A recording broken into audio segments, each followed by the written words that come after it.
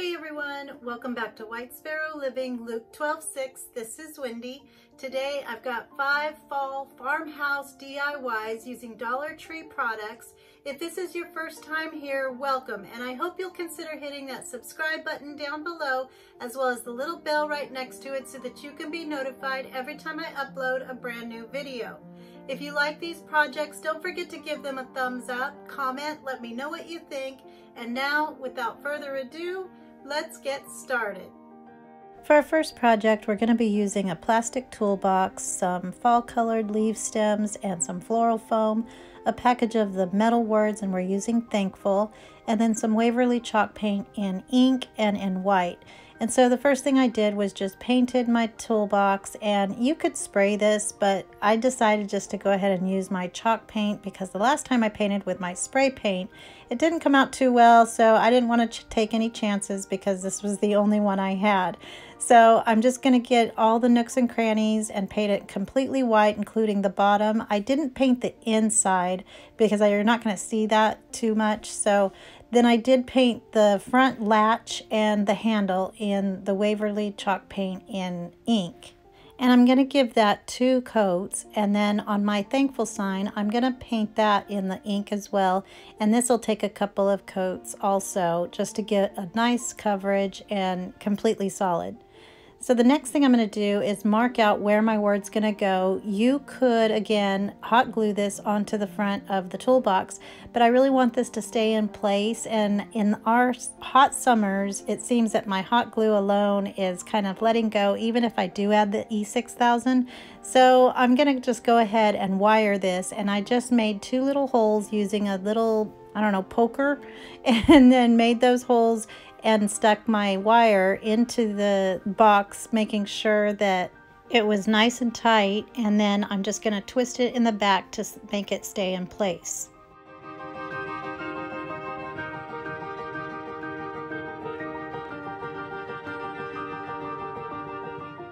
So now I'm going to hot glue some floral foam to the bottom of my box and then I'm going to start adding my fall colored leaf stems into the front and I'm going to kind of push them in at an angle because we're going to kind of close the lid and they'll just be poking out and overflowing.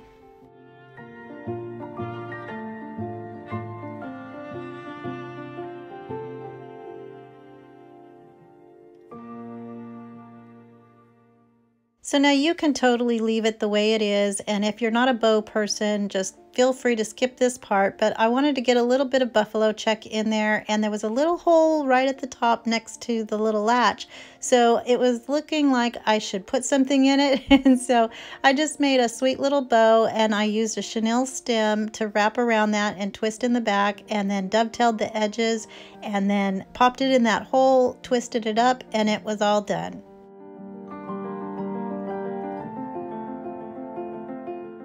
And here's how it turned out. And I think this is so sweet. And you saw how easy this was. If you did leave the bow off, you would be able to see the lid a little bit better, which I think is what is so cute about this. But either way, you don't have to be a flower arranger by any means because you can just throw those in there. You saw me just stick them into the foam and it was done. And so I love how this turned out and I hope you like it too.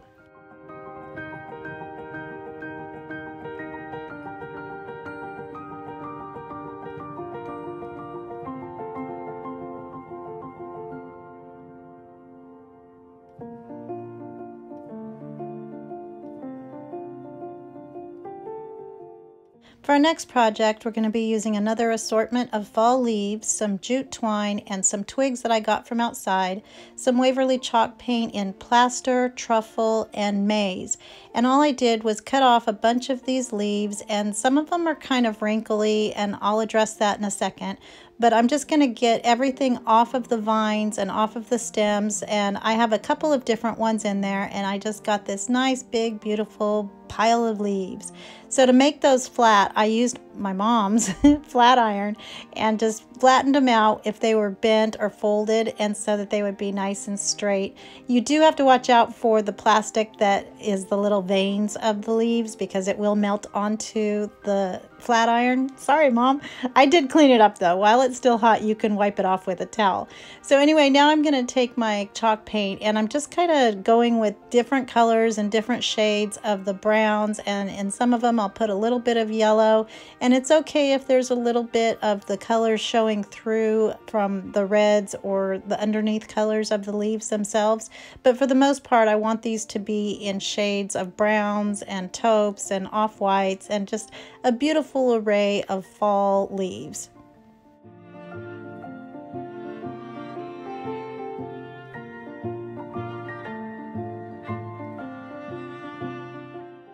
So now I'm going to take my branches and cut off all of the parts that have live leaves on them. And I want to leave the twigs that are coming out from the main branches so that I can attach my leaves to those pieces. And I'm just going to take some hot glue, put it on the back of the leaves, and then attach them carefully so that I don't burn myself and then make it into a complete branch with different leaves growing off of it. They're going to go in all different directions. So if you have some that have some hot glue showing, you can just cover those up with other leaves. And I did try to do some of the larger ones toward the bottom and then making them a little bit smaller towards the top.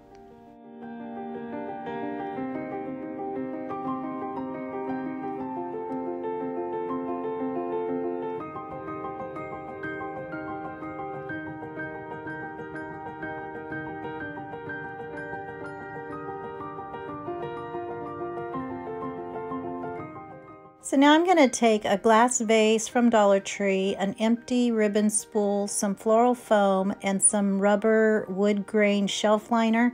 And I'm going to take my floral foam and cut that down into a circle that'll fit into the bottom of my vase. And then I'm going to take my spool and put that on top of that. And because you can still see that top, I'm going to take the little rim off and paint that with my truffle brown paint and I'm just going to give that one coat and I think it kind of makes it look a little bit like dirt but even if you can't see it it's there if you look over so it's a great way to use your empty spools and I like that it has the little hole inside so your twigs will stand straight up. So now I'm going to take my shelf liner and cut that down to the circumference of the base and then I'm going to measure where it will end at the bottom and then the shelf liner has a pattern in it and they're straight lines so you can actually cut that straight line. And because it is a rubbery material, you don't even have to fold it over to make a clean edge. It's just automatically a clean edge. So I use my hot glue to glue it down and then wrap it all the way around and glue it on top of that. And then I did end up using some of the Dollar Tree like linen looking ribbon in the burlap color just to give it a little more cuteness.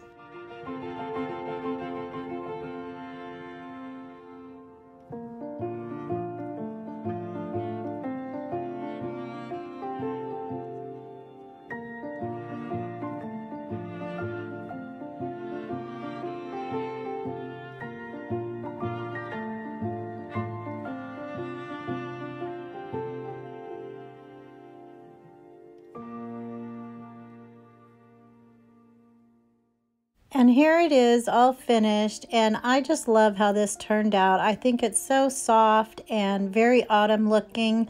You could do this same project and use the regular colors that come on the leaves already if you're doing the oranges and that color palette.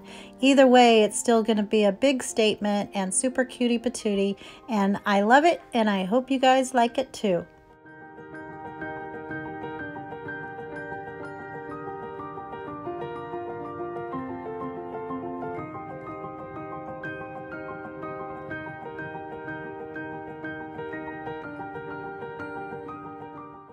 For our next project, we're going to be using a tall scarecrow sign, some raffia, some white string, some chalk paint in ink, and a white paint pen.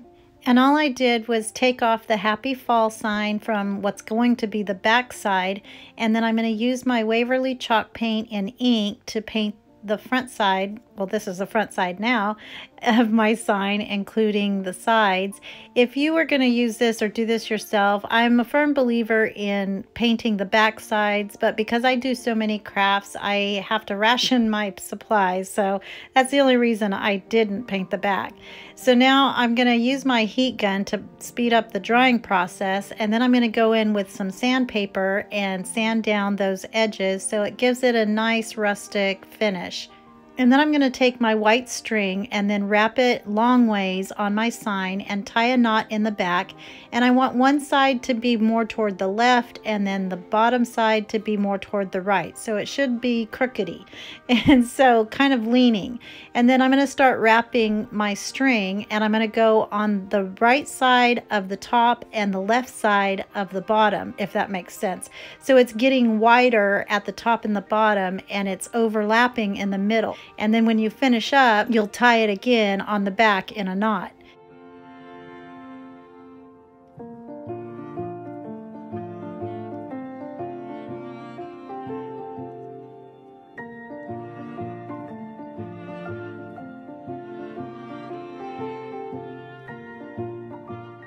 Now we're going to do it the other way and I'm going to do the same exact thing, but I'm just making a cross that's kind of leaning towards the side.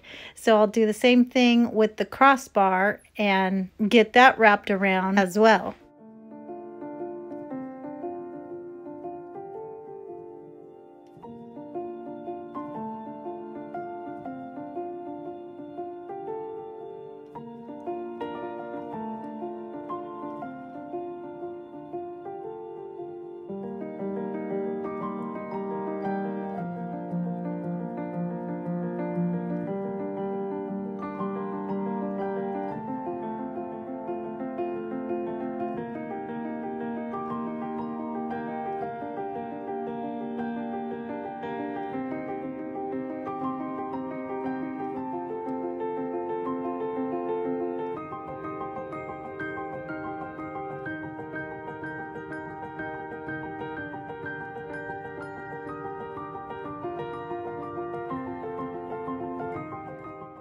So now I'm going to take my white paint pen and I'm just going to write Matthew 13, 31 through 39.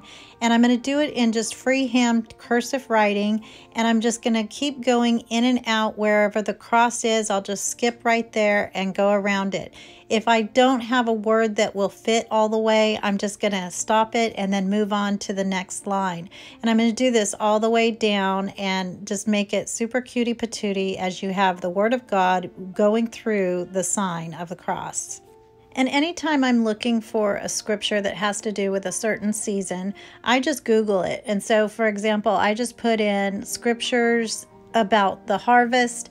And so this was one that came up and it says, he told them another parable. The kingdom of heaven is like a mustard seed, which a man took and planted in his field. Though it is the smallest of all seeds, yet when it grows, it is the largest of garden plants and becomes a tree, so that the birds come and perch in its branches. He told them still another parable. The kingdom of heaven is like yeast that a woman took and mixed into about sixty pounds of flour until it worked all through the dough. Jesus spoke all these things to the crowd in parables. He did not say anything to them without using a parable.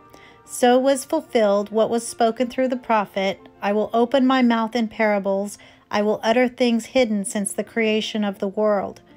Then he left the crowd and went into the house. His disciples came to him and said, Explain to us the parable of the weeds in the field. He answered, the one who sowed the good seed is the Son of Man. The field is the world, and the good seed stands for the people of the kingdom. The weeds are the people of the evil one, and the enemy who sows them is the devil. The harvest is the end of the age, and the harvesters are angels. And it was so perfect because it all completely fit exactly on my sign and then you saw I just added a little wooden pumpkin and I think this turned out so precious and beautiful and it was so simple. And I think the handwriting just being plain and not fancy or anything is what makes it so pretty. So I love how this turned out and I hope you like it too.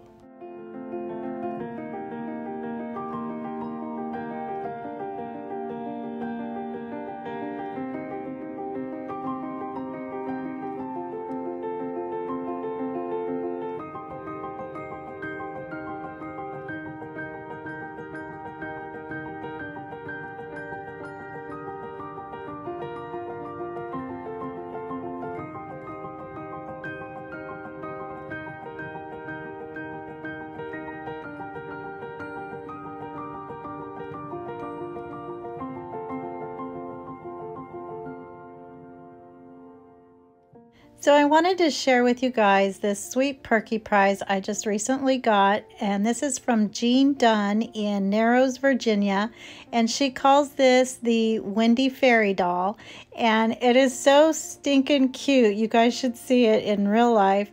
I wish my legs were that skinny, but it comes with a buffalo check bow, some long dark hair. Sorry, I have paint on my thumb. And my favorite part of all are these earrings that I've had since the 80s, some bedazzled leaf wings, and it's just so stinking precious and cute. The sweet little chair, and then, of course, a jute twine wrapped basket with some buffalo check. And so I just wanted to share that with you and say thank you to Jean Dunn for being so sweet. So for our next project, we're going to be using an old white sheet, some white string, a white chalk marker, a pumpkin, some raffia, some chalk paint in plaster, and in truffle. And so the first thing I did was just cut my sheet down and I'm going to rip some strips. That's hard to say. I'm going to rip some strips about two inches wide and then I'm going to cut them down to about four or five inches each. And you get faster because I started folding them over and then just cutting it in one snip. So it was a lot easier to do than doing them individually. And this is a Cal King flat sheet, so it ended up taking about half. So now I'm going to start tying these onto my 12 inch wreath form and there's four crossbars on this. So if you get the larger one, which is 14 inches, I believe, it will only have three of those crossbars. So about 17 hours later, after I was all done, I had this beautiful wreath and I was so in love with this. So now I'm going to take my little pumpkin sign and pull it off of the stand and get all the little bits off of this. And I always keep my little parts in case I need that for another project. And then I'm going to take my sticker off of the back and then this is the side that we're going to paint. But I did take off the burlap from what will be the back just in case any of it shows. It doesn't show so you really don't even need to do this. So now I'm going to take my chalk paint in plaster and I'm going to paint the sides and the front, which is the back, and then get that all nice and covered. And then I'm going to go back in with my truffle and make the lines of my pumpkin. So to do that, I just kind of start off with some pretty dark lines and then I'll go back in and shade it in and get it all nicely blended and just meet with that sideways eyeball in the middle of the pumpkin. And you kind of want to go with the bumpity bumps at the bottom of the pumpkin, but this one didn't have it because it was sitting inside of a sign, so you just had to do it on your own. And then on my stem, I painted that with the truffle as well.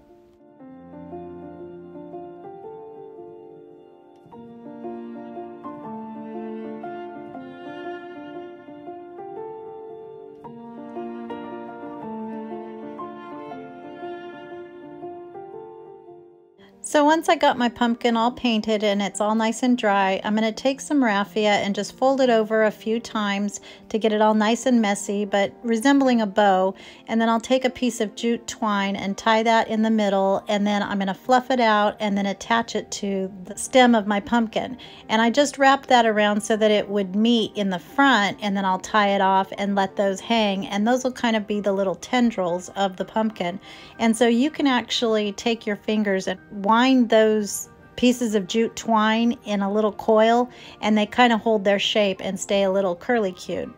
So then I'm going to take my white paint pen and I'm just going to write welcome to our patch and I'm going to use the downstroke method where you make the lines of the downstroke parts of your letters a little bit wider than the rest of the word and I added a couple of lines on the sides of two hour and I do have another video that kind of is a semi writing tutorial and gives you a little more detail, but it's pretty much all here. You just go a little bit thicker on those downward strokes.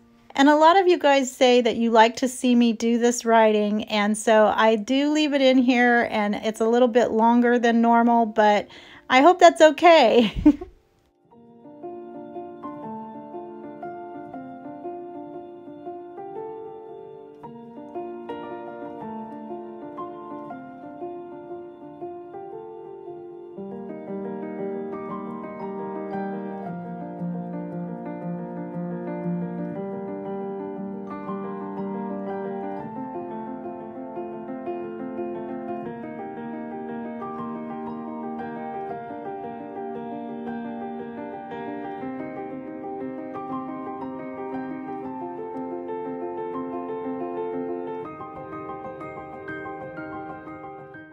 So originally I was just going to hot glue this right to the wreath, but I loved it so much I wanted to be able to change out the plaque for the seasons so I can use it for Christmas or Easter or winter or whatever. So instead I just put a piece of string with some hot glue and then took some of that sheet and glued that down. For some reason I was thinking about getting my brows waxed right here. But anyway, this way I can just tie it onto the wreath and then change it out for the seasons. So I'll just wrap it around and then tie it in the back and then it's all done. And here's how it turned out. And I absolutely love this. I love all the textures and the touchy-feely goodness that you can see with the sheets and being raw on the edges. And I just love everything about this wreath, especially the simplicity of it. It's just clean and cool. And I don't know, I just, it makes my heart happy. So I love how this turned out and I hope you guys like it too.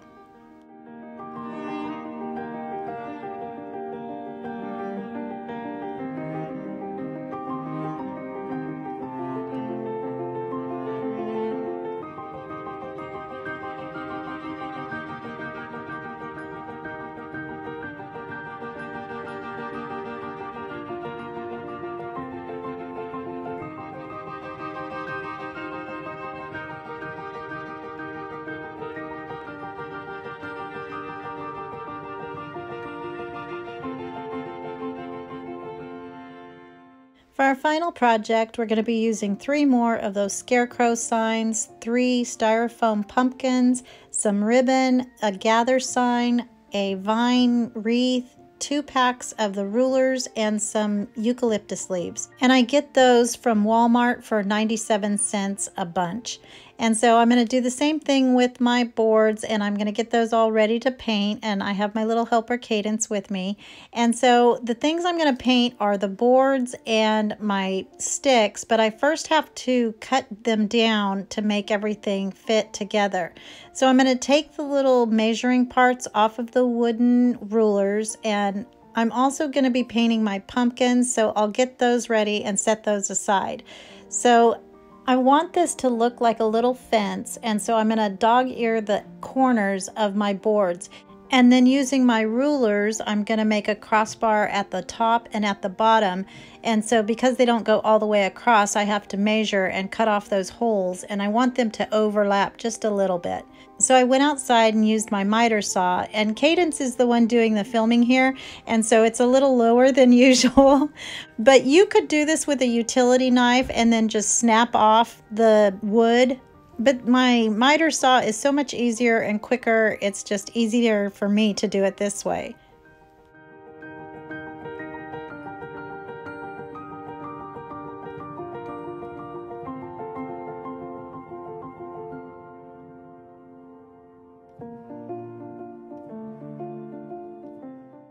So now I'm going to take my white chalk paint and paint the sides and on the fronts of my fence. And once I get them all painted, I'm going to go in with some sandpaper and do some distressing all the way around and on top. I do end up taking it outside and using my rotary sander just because it was a little bit easier and again quicker for me. And I'm going to do the same thing with my ruler pieces.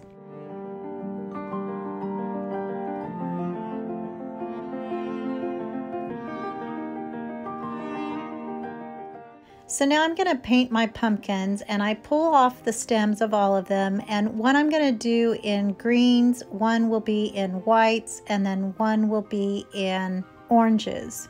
And if they're not already, just to make it easier to paint them, I'm going to put them on a skewer and then I'm going to get a little twig from outside and use those as the stems for my pumpkins.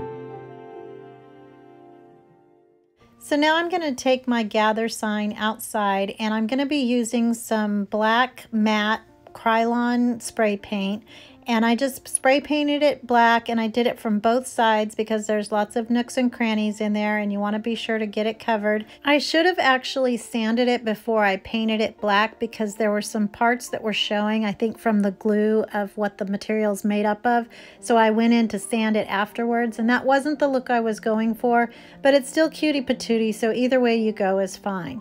So now I'm going to put my fence together and I'm using my rulers to separate them so they'll be nice and even. And then I'll use some E6000 and hot glue to place my crossbars, one at the bottom and one at the top.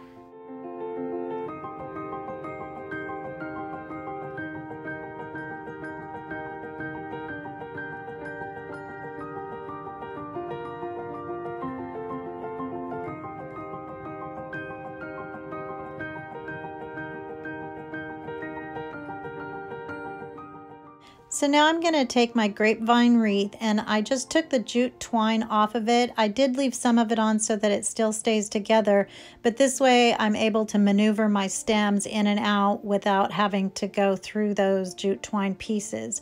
So now I'm going to take my stems and cut these apart. And these are the Walmart eucalyptus and I like them more on a wreath than I do in a vase or anything because I feel like the leaves are upside down for some reason and so using them this way just kind of camouflages that for me. So I just cut those apart with my wire cutters and then I'm just going to start sticking them into that grapevine wreath and then I'll go all the way around. And I like the look of when it's kind of sticking out but I need this to kind of be all compact. So I'm going to go in with my floral wire and I'm going to wrap it all the way around the entire thing and wherever the wire's showing I'm just going to cover that up with those leaves so that you can't see it and this way it'll just kind of be a little bit smaller because my board's not too terribly big so I wanted to make it a little bit smaller so that you could see the gather sign and the crossbars and you can tell that it's a little fence.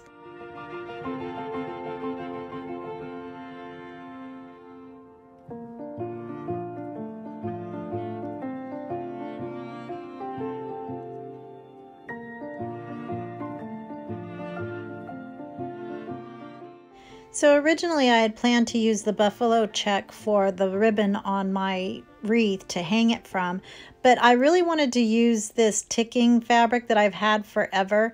So I decided to use this instead and I'm just going to cut a strip off of the fabric and fold the sides in and then I'm going to use my iron to get those down and then I'll go back in with some fabric tack and make them all nice and secure.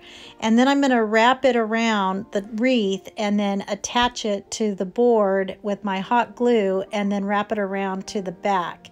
And then I'm going to put my gather sign at the bottom and then using my E6000 and hot glue, I'll get that secured as well.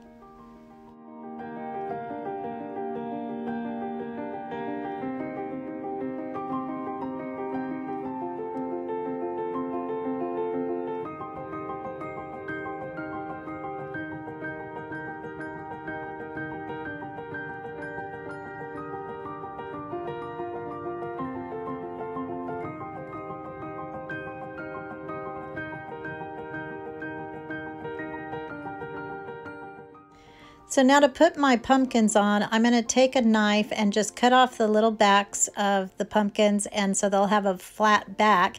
And then I'm going to be gluing those directly to the board and it'll look like it's on the wreath, but I'll just kind of stagger them and put one on top of the two.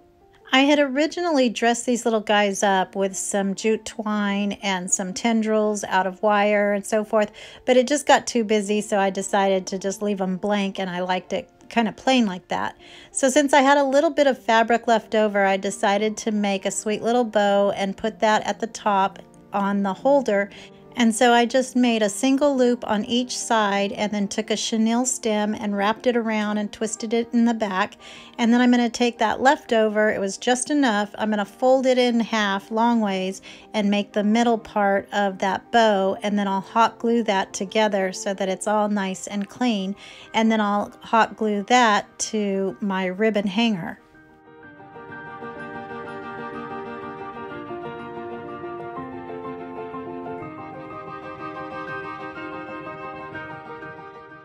And here it is all finished and I love how this turned out and this would have been super cutie patootie even with the buffalo check ribbon as well. But I just really wanted to use this fabric in something. So I thought this was the perfect project to do that. And so I really like interchangeable items that I can change for the seasons. So during Christmas, I could put like three little Christmas trees where the pumpkins are here and it's still super cute and goes with the theme of whatever the season is. So anyway, I love how this turned out and I hope you guys like it too. For some reason, my gather sign looks more scratched up than it really is. So I don't know why that is, but I guess it's the lighting. Anyway, I hope you guys enjoyed these projects. And if you did, don't forget to give them a thumbs up, comment, let me know what you think. I appreciate everyone who takes the time to make a comment and all your sweet compliments. If you aren't already, I hope you'll consider hitting that subscribe button down below. You can find me on Facebook and Instagram. I hope everyone has a blessed day and remember to always be the light.